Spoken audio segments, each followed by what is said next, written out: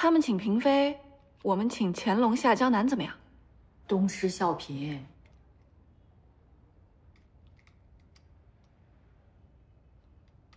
今天大家都辛苦了，早点回去休息，明天早上再聚。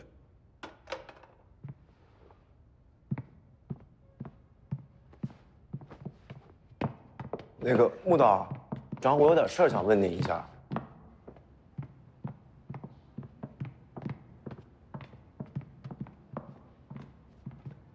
小鱼，哎，我知道你每次开会都会心不在焉，也不爱说话。可是你今天明显有心事，你是怎么了呀？没事儿啊，王姐，我约了专家做采访，马上就要来不及了，我先走了，明天见。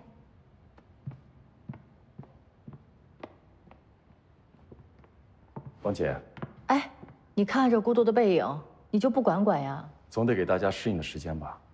有什么可适应的呀？小鱼，我们在一起工作了那么久，大家经历了那么多，啊，人不在的时候，你们一个个满口仁义道德，想人家；现在人家回来了，你们一个个漠不关心的。道理很简单，现实很困难。用平常心对待一个人，是最不平常的事情，不是人人都做得到的。再说了，问题的关键不在于外界，而是它的本身。你这些大道理我也不想听。明天小鱼来的时候，我们都要给他一些温暖，好不好？明白了。顾总，嗯，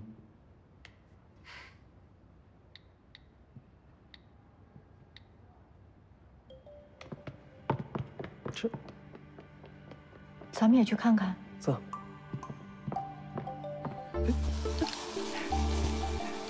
再给你画个这个，多看点儿。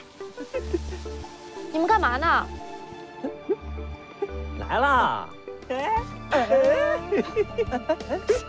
看清了你！干什么呢？走，快走！站住！别跑！你怎么样？有没有受伤？哪儿不舒服？是不是眼睛不舒服啊？没事，你让我看看。没追上，让他跑了。报警！哎，好。没事吧？你真的没事儿？别担心，明天我找人处理。哟，怎么了？哎，小鱼，你这是得罪谁了呀？嗯哎呀，不过你这个个性啊，就是爱得罪人。嗯，没事儿，别怕啊。庄一在录制节目的时候突然晕倒了，送去了医院。不知道从哪儿传的消息，说摆拍的事情疑惑至今。才受到了打击，粉丝自然找罪魁祸首算账了。庄一出道就那种乖巧的民国少女，收获了一大票男粉。粉丝做事有时候就是不理智。你最近啊，出入小心点，千万别一个人，听见没有？嗯，谢谢王姐。阿旭，采访取消，我送你回去。没事儿，不用了，我自己回去。我先走了，王姐。你到家给我们来个电话。嗯。阿旭，来，刚刚拍照了吧？拍完了。把那些网上的那些造喂谣号，还有这些照片，新闻我看了，我很快会解决，小心点儿。回头再说。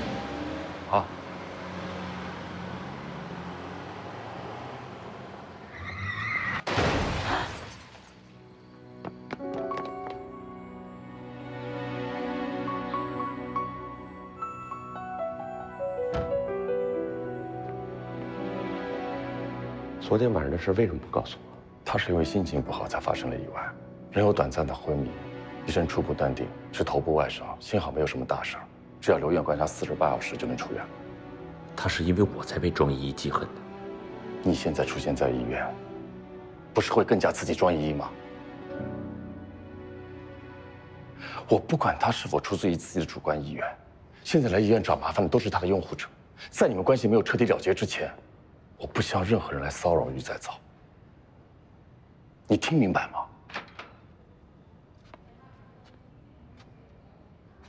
你们干嘛呢？我去买杯咖啡。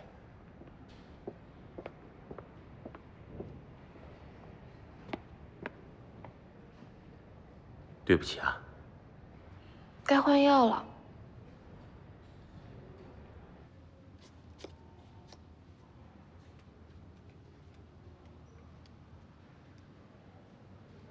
谢谢，不客气。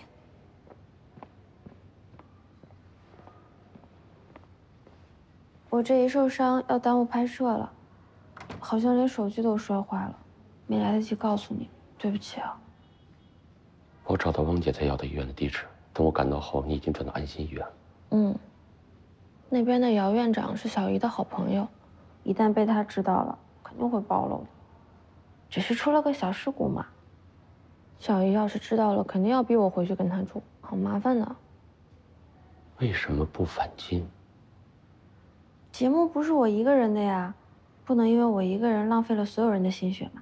你说我聪不聪明，乖不乖巧，听不听话？虽然我真的很想打爆他的头。你变了很多。嗯。陶唐，刚才被你们吵醒了，现在有点困呢。那你再睡会儿，后期拍摄我会跟进的。那帮我们把礼物带给依依吧，哎，告诉依依，大家听我说，依依现在身体不太方便，等依依好一点了，大家再来，请大家先回去吧，好吗？好，好，好，大家安静，大家安静，安静，听我说，对不起，医生说依依暂时不能会见客人，等依依好一点，我一定第一时间告诉大家，可以吗？请大家先回去吧。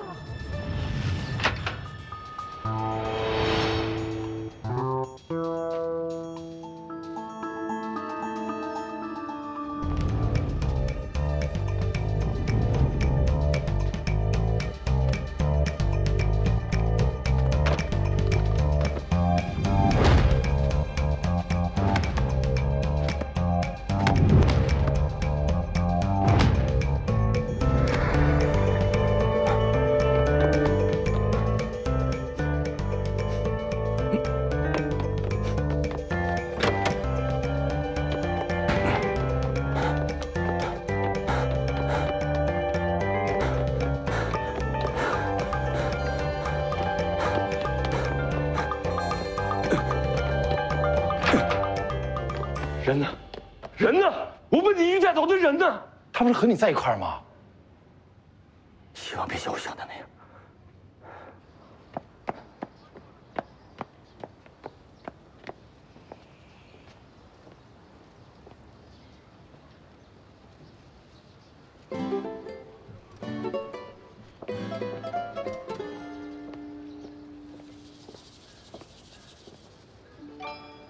你一个人跑出来，你知道我多担心吗？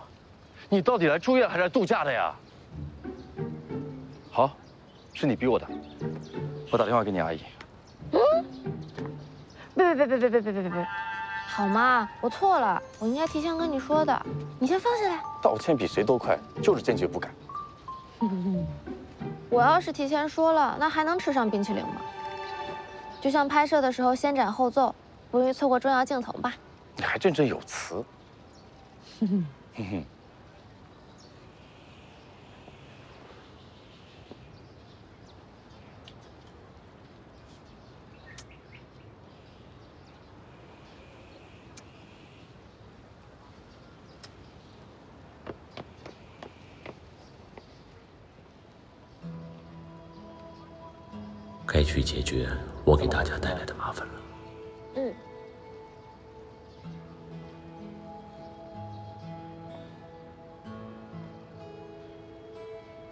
哎，我说，嗯，该做点实事了吧？什么？一个小时之内，陶唐会在社交媒体上揭穿庄依依报复节目的真相，而无辜的我受到庄依依粉丝的恐吓，精神恍惚出了车祸，现在人又在医院，公司也有宣传团队的，不需要我教你接下来要怎么做吧？我还以为你准备息事宁人，原谅他们了呢。原谅？不可能的。明天拍摄之前，把它解决掉。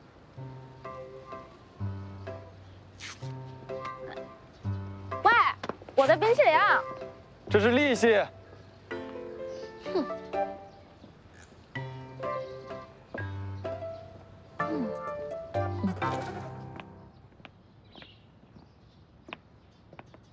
依依姐，你为什么这么着急出院呢？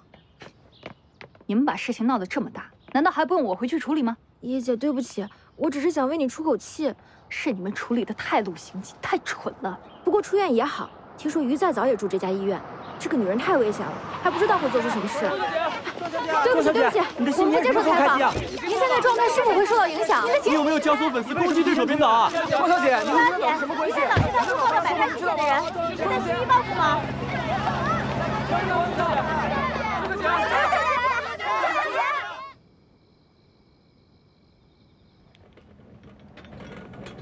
于小姐，你该换药了。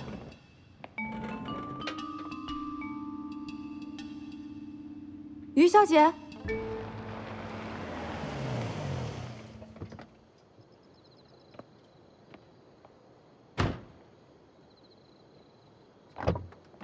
依依姐，在这等我。嗯。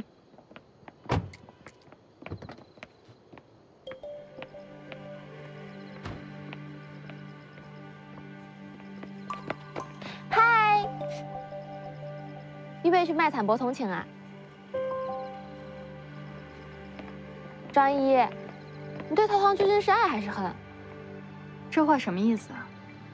我是不太懂啊。但按常理来说呢，爱就是要善待对方。可你为什么要百般折磨他呢？我跟他的事，你是不会明白的。哦，要我说，你自己都未必清楚吧？比赛早啊，我说病人呢，还是乖乖养病，不要多管闲事。啊，我差点忘了，你得的是绝症，没药治呢。是啊。人们表面上都接纳你，可实际上，不是对你敬而远之，就是骗你哄你。你猜，陶唐对你用的是什么方式啊？你可以感知他人的快乐与痛苦，可你却毫不在乎，为达目的不择手段。人群中呢，也隐藏着很多像你一样的人，表面上看起来像个人，可实际上啊。非人沾边的事一点都不干。庄依依，你跟我到底谁有病？你啊啊！于小姐，您没事吧？这怎么流血了？依依姐，没事吧？依依姐，你打了是吗？让你再让警察解释一下。我这么打人了？是我们接受采访。打人！别跑！就请让你看一下。我们不接受采访，请回吧。对不起，对不起赶紧走吧。周小姐，你和于小姐有什么关系吗？你说了？周小姐，周小姐，为什么声音大声呢？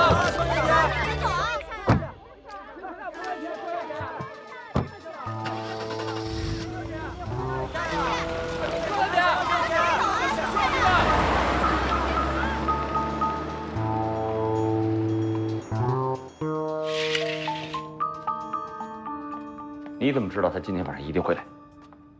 你太小看我的情报来源了。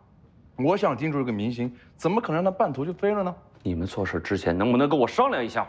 速战速决嘛，这是速战速决的事儿吗？你相不相信？明天早上最晚明天早上，你就会看到庄依临时退出节目的消息。顾时庸，哎呀，像她这样懂得趋利避害的女人，她不会为你放弃人生大好前途的。总之。麻烦全部解决，你不必再担心了。你你们到底还要聊到什么时候？陶唐，你的手艺超好，可乐鸡翅可好吃了，你尝尝。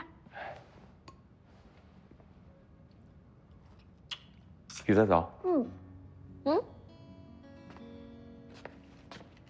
你的伤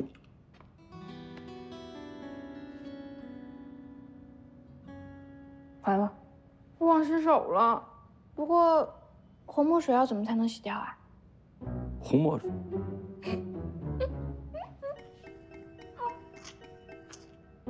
嗯，好喝。手艺确实不错啊。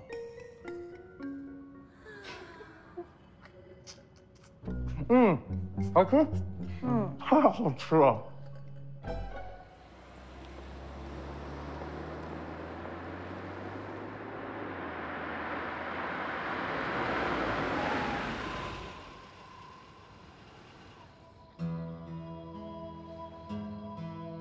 还在生气啊？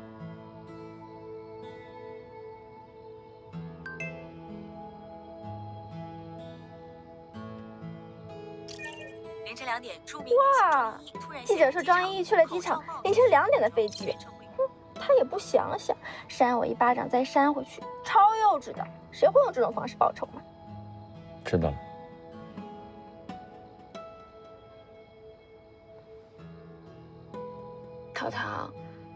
其实是帮了庄依依的，她走到今天不容易，再这样泥足深陷下去，不毁了自己的，逼她及时抽身不好吗？你这样的人，怎么懂复杂的人心呢？再说了，我是真的出车祸了，你看我的头，好痛的。你真的不知道我为什么而生气吗？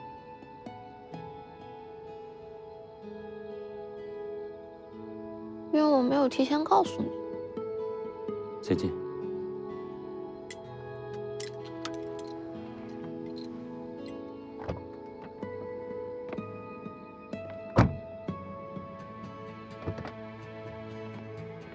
鱼在走。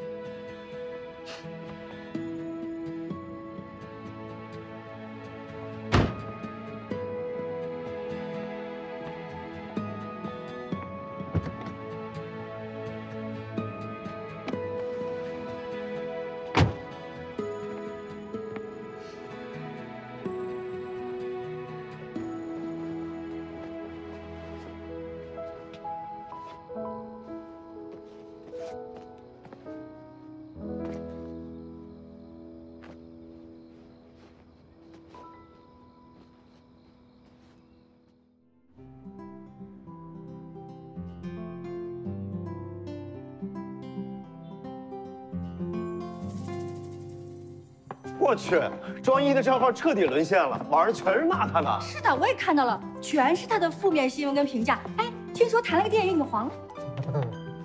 都什么时候了，还管别人怎么样？现在最重要的，把我们自己的事做好啊！主题都没想好呢，抓紧时间收拾收拾，准备开会。你干嘛去啊？我去医院看看小鱼。哎，这要开会呢。大家好啊。小鱼，你头好了？好了，赶紧参加我们的会议吧。我是觉得这些家具单独拍还行，你跟这园林搭在一起很奇怪的。我觉得他们两个的气质非常吻合，从画面上还有色彩上来讲还是挺搭的。呃，园林里面放家具很风格化嘛。反正呢，我还是坚持之前的想法，做乾隆下江南系列，配上小剧场，这一直是我们节目最大的卖点。放在平时没有什么问题，可是《飞鱼物语》已经抢先做了清宫题材了。哎，他们做宫廷，那咱们就拍园林，就做一个古往今来的园林对比。其实我还有一个想法，我们可以请几个文学大师，在这个园林里搞一个读书会，充分的发挥文字的力量，让观众从一个全新的角度去理解这园林。我送您四个字儿：曲高和寡。还读书会呢？你看看现在还有几个人看书啊？你能不能想个现实点的呀？那行，你出一个现实的。我这不拼命想的吗？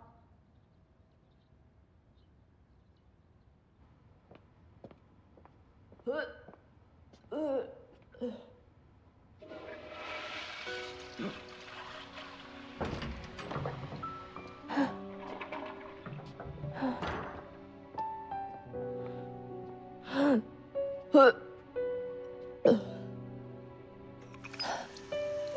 随随便便出医院，现在才会不舒服的，还不赶紧跟我回去？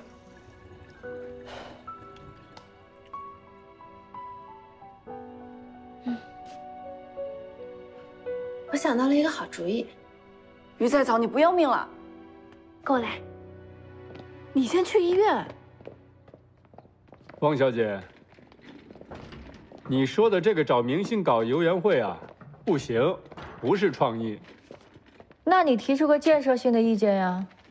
明式家具，文人雅士，之前介绍过很多次了，怎么做才会有点新意呢？旧法子挺好的呀，保险。为什么那么多人旧法子呀？因为他屡试不爽。你总是用一个方法，那观众看了都会厌烦的。哎，那要不就江南四大才子？唐伯虎、文征明都做过了，不新鲜。是不新鲜？大家赶紧想个新鲜的吧。我明白你的意思，你是想用流量带话题，出发点坏了，做什么都做不好。我们分析收视率啊，即便是戏中戏环节，也只有那些观众非常熟悉的历史人物才会有观点。既然下江南系列不行，我们可以做拙政园历代主人的变迁往事，从王献臣讲到张吕谦，有文脉延续，有历史传承。又或者红楼剧组重聚。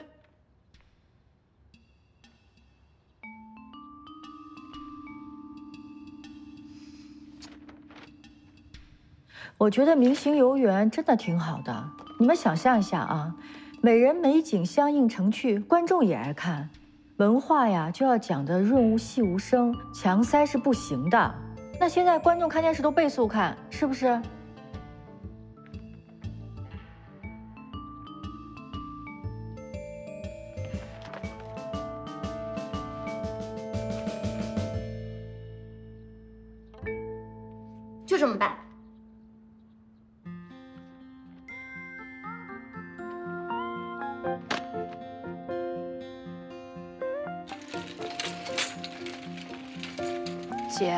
你这角色演好演坏都挺麻烦的。之前剧场反响不错，都已经在给你接影视约了。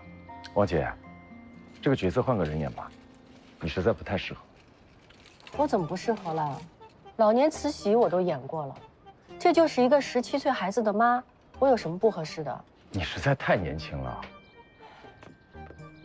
我虽然孩子没有那么大，但是我也采访过很多母亲，他们的心态呢我都了解。况且我们这行呢就是要这样，让你演什么就得像什么，不管是三十岁、四十岁、八十岁，给你什么样的角色，你心里要有体会，就能把它演出来。专业。王姐，我也支持你。顾总放心吧，妆容交给我，我绝不掉链子。好，王姐，顾总，导演，王姐，哎，我看如果妆 OK 的话，咱就换好衣服准备拍摄。好，差不多了。嗯，好。哎，王姐辛苦，我进去看一下。袁编导，于编导看着好像不太舒服。好，我知道了，我现在来现场。袁编导，孙导，你先看着。好。孙导，哎，先准备这场。对对对，就是这场。然后要看一下画面，整理画面。顾总。顾总。哎，顾总，咱们一会儿啊，我惦记着。导演，我相信你。感谢您的信任。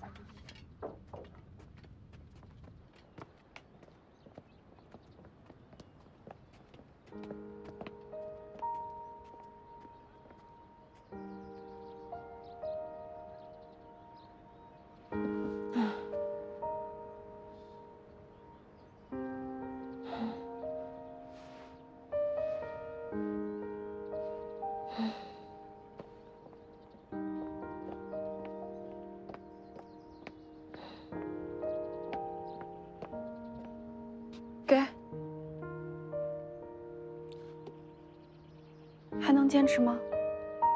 头疼。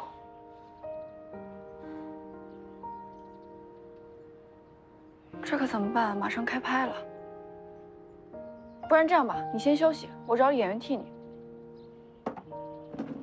不行，我不想耽误拍摄进度。最后一期了，你就跟他们说你也想过把戏，这样他们就不会疑心。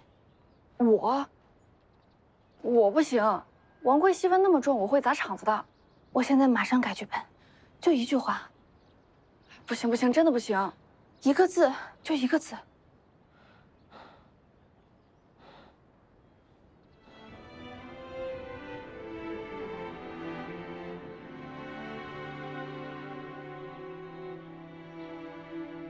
八步床产生于明代晚期的一种大型床，又称八步床和踏步床。八步床分为廊柱式和围廊式两种造型，在传统的三面设矮围、四角立柱的架子床的基础上，又添了一间小木屋，形成回廊之势。床的前沿会设一道二三尺的浅廊，中间留有脚踏，左右两侧。用来安放小厨、桌子、坐墩，甚至梳妆台，构思十分巧妙。硬木八步床工料浩繁、奢华精美，流行于明清江南一带。当地很多富庶人家在女儿一出生，便让工匠打造此床，以备嫁妆。敲呀打呀，何时才能做好呀？等我们桂儿将来出阁的时候，这张八步床就能造好了。爹，什么叫八步床？什么叫出阁呀？等十年以后，桂儿长大了，就知道什么叫八步床了。嗯。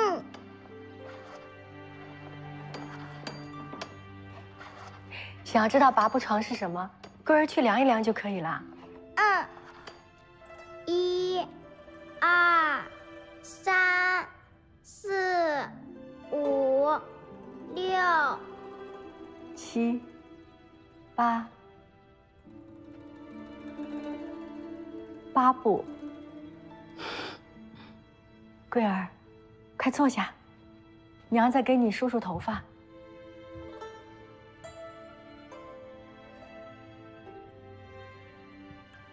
桂儿，景少品行端方，少年有才，是我和你父亲为你千挑万选的良婿。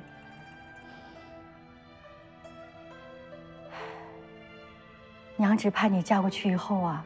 夫妇和美，一生顺遂。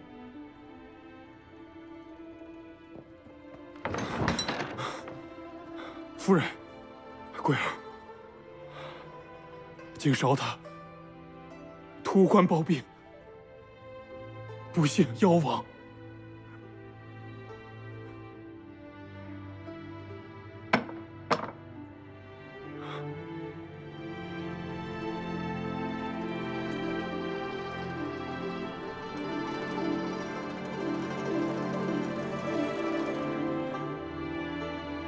丈夫死国，妇人死妇，逆也。他舍命是去到徐家为夫守节，你因反对夺情之意，大大得罪了张阁老，这才回乡赋闲。若舍不得女儿一朝起复，必落下他人攻坚之把柄。你自己硬骨一块，可全族人都会受你的连累。对呀，袁玉，你这是要害得王家，被人指着脊梁骨痛骂吗？说你。教不好女儿，不懂守节大义，玷污了王家的门楣啊！大家说的都对，今后绝不能再有这样的事情发生。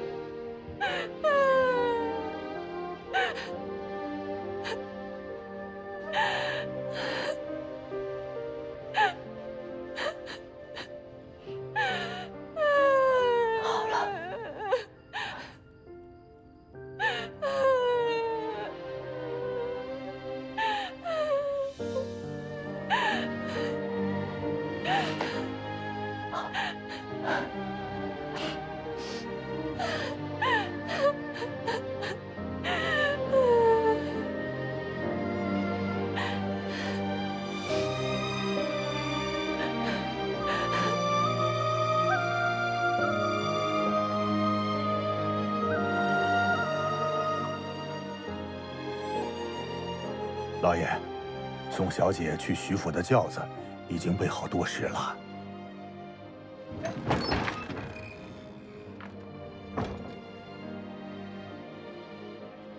桂儿，你怎么穿成这样？桂儿，桂儿，将闺房拆了重改。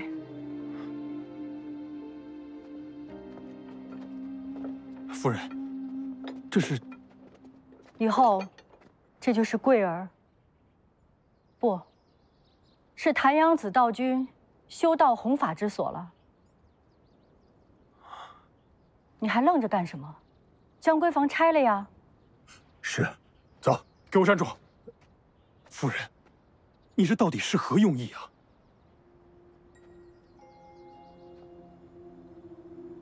夫君，女儿哭了整夜，天明时突然开了慧眼，说她本不是这世上之人，是不能婚嫁的。自此后，取号坦阳。一意修道成仙，红尘俗世不再过问。你说什么？成仙？成什么仙？我儿自幼不爱女工针纸，不读女界内训，唯贪恋庄老之书。没想到，竟有如此这般造化。东晋许真人曾言。吾仙去后一千二百四十年间，豫章之境，武陵之内，当初地仙八百人。想不到这龙沙衬，第一个便印在了贵儿身上。自此后，你们不能再称她为小姐，都要尊称为道君。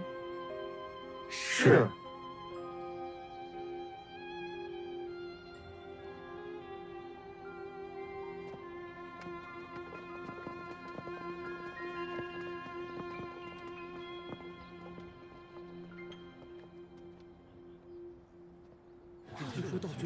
特别好，是的，道君，道君，道君，道君，道君，哎呀，小姐，你总算回来了，快通知老爷，小姐回来了。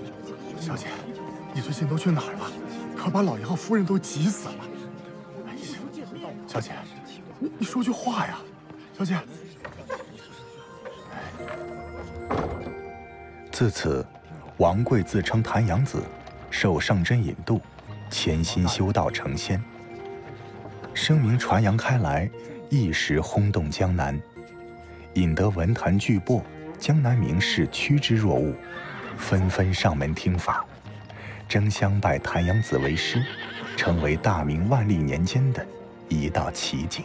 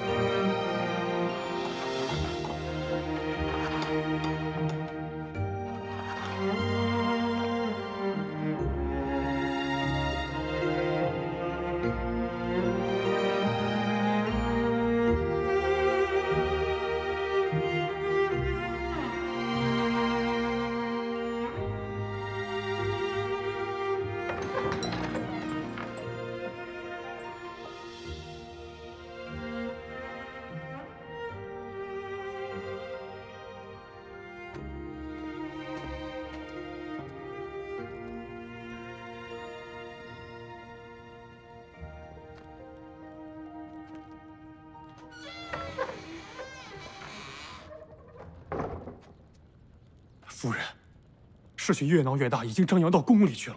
太后传下懿旨，要亲自召见他。我早就说过，不要装神弄鬼。如今事已至此，王家大祸临头，事情该如何收场？那你说，该如何收场？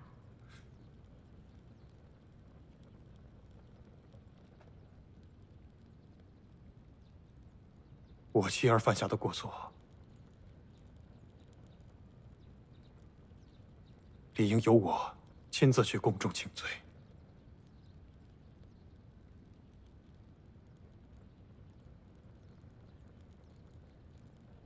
重阳之日，谭阳子便要白日飞升了。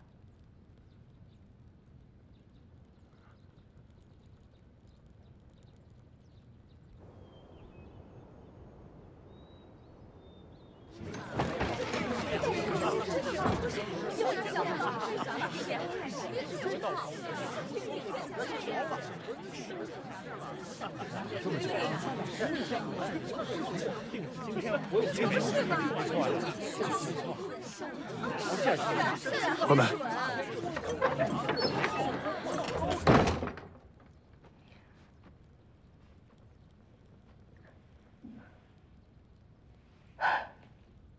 安顿好了，给娘来个信儿。和我们一起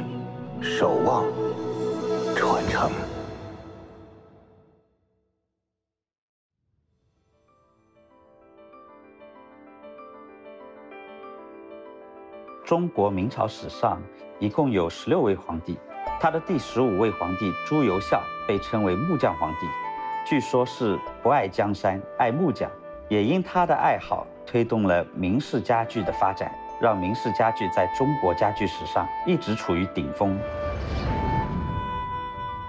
明式家具呢有四个字，呃，形、韵、意、材。所谓的形，它是宋式家具演变而来的。韵是讲究它的线条，要有宋代的韵味，体现了一种文人气质。艺是要保证它的工艺能用一百年、两百年也不会坏。材是它的材质是要最好的。在明代的时候，皇帝用到的都是黄花梨，平民家庭用的基本上都是以榉木为主。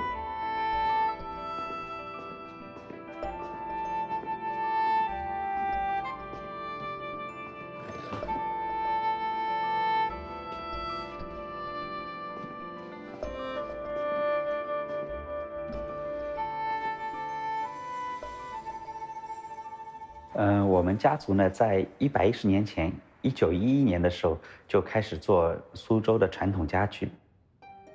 我跟父亲学的是雕刻，跟两位叔叔学的是油漆和木工。我们这门手艺有漆、木、雕三个工种，从设计到选材，从搭配到雕刻，最少需要学八年以上，而且这八年的成功率也只有一半。这里面不仅有手艺，还有悟性。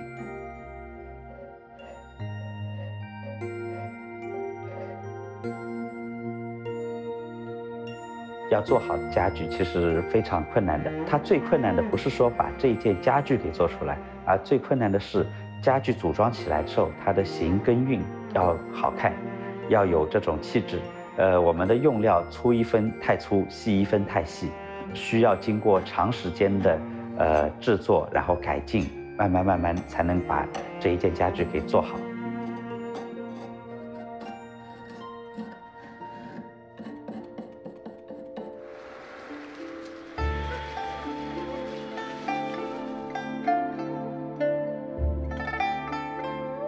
明式家具里的榫卯结构太美妙了，不用一颗钉子就可以让家具坚固而且美丽，所以很长的一段时间。我都在研究打磨自己的技术，陆续复原了三十二件常用的榫卯结构的实物。这个囧凳，它的特点呢是非常简洁，它所用到的工艺就是一个榫卯工艺，加上一个霸王撑，再加上每一个面都起一个凹陷，最终形成了一个鱼唇纹。看似简单，其实却藏着不少的东西在里面。四角八撑，每一个部件多一分太多，少一分太少。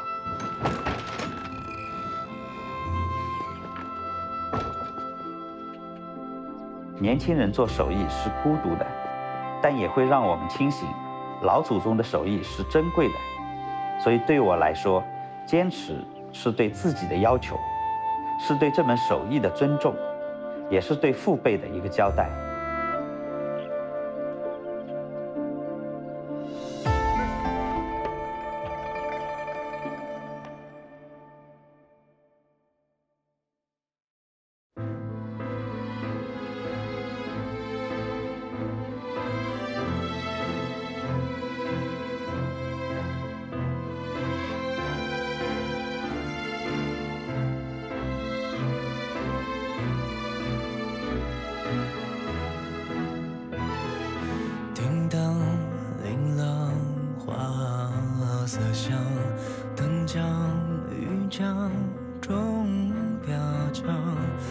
此去阿放满江，歌词啊顺了香，同饮着一条江，各翻出几层浪，分装如霜，披一披望，明堂虚香为红墙，中影啊有两方，非无法去敦煌，在故人的地方塑造谁的模样，用一生唱一出